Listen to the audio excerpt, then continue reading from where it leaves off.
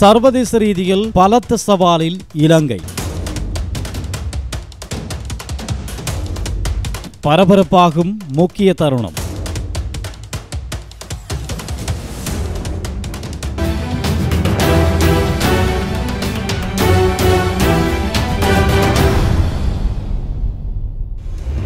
உயிர்த்த ஞாயிறு தினத்தன்று நடாத்தப்பட்ட தொடர் பயங்கரவாத தாக்குதல்கள் குறித்து விசாரிப்பதற்கு நியமிக்கப்பட்ட ஜனாதிபதி விசாரணை ஆணைக்குழுவின் அறிக்கை வெளியாகி அதன் பிரதிகள் பல்வேறு தரப்பினருக்கும் வழங்கப்பட்டு வரும் நிலையில். ஈஸ்டர் தாக்குதல் தொடர்பான விசாரணை விவகாரமானது நாட்டின் அரசியலில் பரபரப்பான விடயமாகியுள்ளது. உள்நாட்டில் அவ்விவகாரம் எதிரணியினராலும் கிறிஸ்தவ மத தலைவர்களாலும் விமர்சிக்கப்பட்டு வருகின்ற சூழ்நிலையிலே ஜெனீவா மனித உரிமைகள் பேரவையின் இலங்கை சர்வதேச ரீதியிலான சவால் ஒன்றுக்கு முகம் கொடுத்துள்ளது. இலங்கை குறித்த இணை தலைமை நாடுகளால் தயாரிக்கப்பட்ட பிரேரணையின் திருத்தப்பட்ட நகல் இன்று திங்கட்கிழமை ஐநா மனித உரிமைகள் பேரவையின் முன்வைக்கப்பட்டுள்ளது. உத்தியோகபூர்வமற்ற கலந்துரையாடலுக்காகவே இந்த திருத்தப்பட்ட நகல் யோசனைகள் சமர்ப்பிக்கப்பட்டுள்ளதாகவும் தெரிவிக்கப்பட்டுள்ளது. இந்த பிரேரணை மீதான வாக்கெடுப்பு பேரவையின் கூட்டத்தொடரின் இறுதியில் இருபத்தி இரண்டாம் தேதி நடைபெறும் என எதிர்பார்க்கப்படுகின்றது. அதிகளவு நிகழ்வுகளுக்கான நேர ஒதுக்கீட்டை செய்ய வேண்டியிருப்பதனால் இலங்கை குறித்த வாக்கெடுப்பு எப்போது நடைபெறும் என்பதையிட்டு இதுவரையில் தீர்மானிக்கப்படவில்லை என ஜெனீவா வட்டாரங்கள் தெரிவித்தன. இருந்தபோதிலும் இருபத்தி இரண்டாம் தேதி வாக்கெடுப்பு இடம்பெறும் என ராஜதந்திர வட்டாரங்கள் தெரிவித்து நிற்கின்றன. உத்தியோகப்பற்ற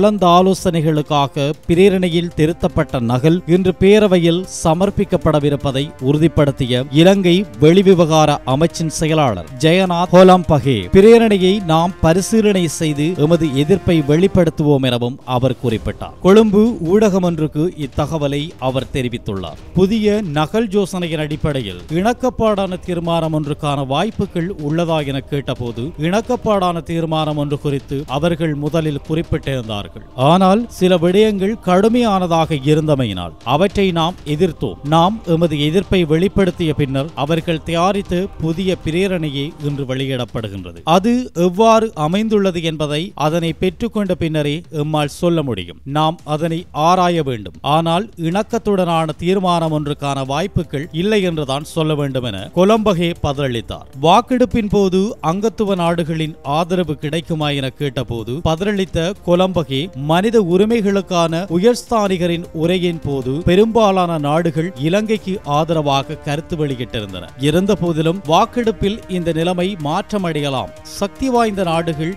அங்கத்துவ நாடுகளை இலங்கைக்கு ஆதரவளிக்காமல் இருப்பதற்கான அச்சுறுத்தல்களை கொடுப்பார்கள் என மேலும் தெரிவித்தார். இதேவேளையில் இணக்கப்பாட்டுடனான தீர்மானத்தை கொண்டு வருவதற்கு இணைய தலைமை நாடுகள் இறுதி வேளையில் முயற்சித்த போதிலும் அதனை இலங்கை நிராகரித்துவிட்டது வாக்கெடுப்பில் இலங்கை தோல்வியடையும் என்பதை தெரிந்து கொண்டுள்ள போதிலும் வாக்கெடுப்பையே இலங்கை விரும்புவதாக தெரிவிக்கப்படுகின்றது. நாற்பத்தி ஏழு உறுப்பினர்களை கொண்டுள்ள மனித உரிமைகள் பேரவையில் இலங்கைக்கு பத்து நாடுகளின் ஆதரவு கிடை கிடைக்கும் என்றே முதலில் எதிர்பார்க்கப்பட்டது. ஆனால் உடல் தகன விடயத்தில் இலங்கை எடுத்த புதிய நிலைப்பாட்டை அடுத்து அது பதினைந்தாக அதிகரிக்கலாம் என தெரிவிக்கப்படுகின்றது. இஸ்லாமிய நாடுகள் சிலவற்றின் ஆதரவை இதன் மூலம் இலங்கை பெற்றுள்ளது. இந்தியா ஜப்பான் ஆஸ்திரேலியா ஆகிய நாடுகள் நடுநிலைமை வகிக்கலாம் என ராஜதந்திர வட்டாரங்கள் தெரிவித்தன. இருபத்தி ஒன்பது நாடுகள் பிரேரணைக்கு ஆதரவாக வாக்களிக்கும் என எதிர்பார்க்கப்படுகின்றது. பிரேரணையின் திருத்தப்பட்ட வடிவம் இன்று சமர்ப்பிக்கப்பட்ட பின்னர் இது குறித்து விவாதங்களும் பேரம் பேசல்களும் ஜெனீவாவில் சூடுபிடிக்கும் என எதிர்பார்க்கப்படுகின்றது. இந்நிலையில் அரசுக்கு ஆதரவு திரட்டும் நோக்கில் கொழும்பிலுள்ள சர்வதேச நாடுகளின் தூதுவர்களை வெளிவிவகார அமைச்சர் அவசர அவசரமாக சந்தித்து வருவதாக தகவல்கள் தெரிவிக்கின்றன.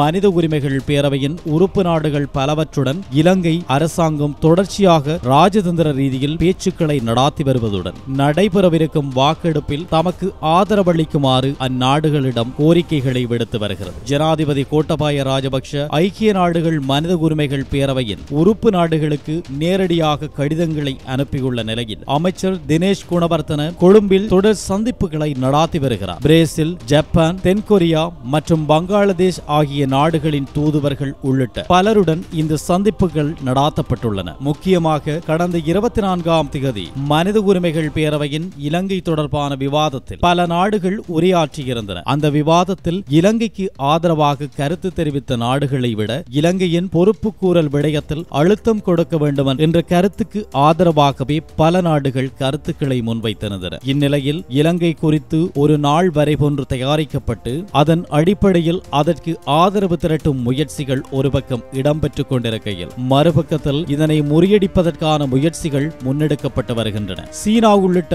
இலங்கைக்கு நட்பான நாடுகள் நேரடியாகவே பிரேரணையை நிராகரித்து கருத்துக்களை முன்வைத்துள்ளன.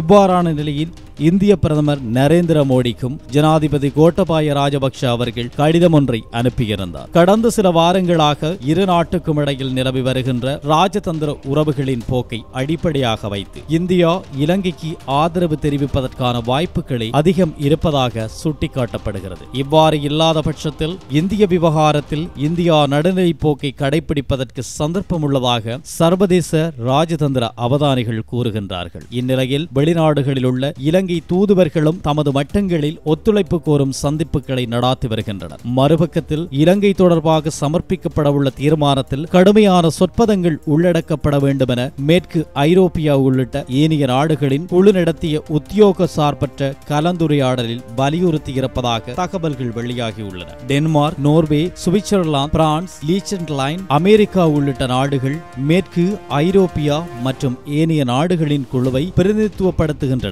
இலங்கைக்கு எதிராக முன்வைக்கப்படவுள்ள தீர்மானத்தில் உள்ளடக்கப்பட்டுள்ள சொற்களை மேலும் கடுமையாக்க வேண்டுமென இந்த நாடுகள் வலியுறுத்தியுள்ளதாக தெரிவிக்கப்படுகிறது. இது இவ்விதம் இருக்க இலங்கை தொடர்பில் கொண்டுவரப்படவுள்ள பிரேரணைக்கான வரைபொன்று தயாரிக்கப்பட்டிருப்பதாகவும் அதில் கடுமையான விடயங்கள் பல இடம்பெறவில்லை என்பதால் புலம்பெயர் தமிழ் அமைப்புகள் பல ஏமாற்றம் அடைந்திருப்பதாகவும் அந்நாடுகளில் இருந்து வெளியாகும் தகவல்கள் தெரிவிக்கின்றன. ஐக்கிய நாடுகள் மனித உரிமைகள் பேரவையின் ஆணையாளரின் அறிக்கையில் பல காட்டமான விடயங்கள் உள்ளடக்கப்பட்டிருந்தாலும் தற்பொழுது தயாரிக்கப்பட்டிருப்பதாக கூறப்படும் வரைவில் நிலைமைகள் சற்று தளர்த்தப்பட்டிருப்பதாக தகவல்கள் வெளியாகியுள்ளன. இதற்கு முக்கிய காரணம் ஒன்று உள்ளது. எந்த ஒரு நாடும் இலங்கையின் உள்ள இனங்கள் மீது அதீத கரிசனை கொண்டு பிரேரணை ஒன்றை ஆதரிக்கப் போவதில்லை. பிரேரணையை கொண்டு வரும் நாடுகள் கூட அதனை வெல்ல வைக்கக்கூடிய வகையிலேதான் தயார்படுத்துதல்களை மேற்கொள்ளும். அந்த அடிப்படையில் பார்க்கும்போது ஒவ்வொரு நாடும் தமது நிலைப்பாடுகளிலிருந்து விடயங்களை ஆராய்ந்தே முடிவெடுக்கும் என தெரிய வருகின்றது. இதற்காக சர்வதேசம் ஏமாற்றிவிட்டது என புலம்பெயர் தமிழ் தரப்புகள் கூச்சல் போடுவது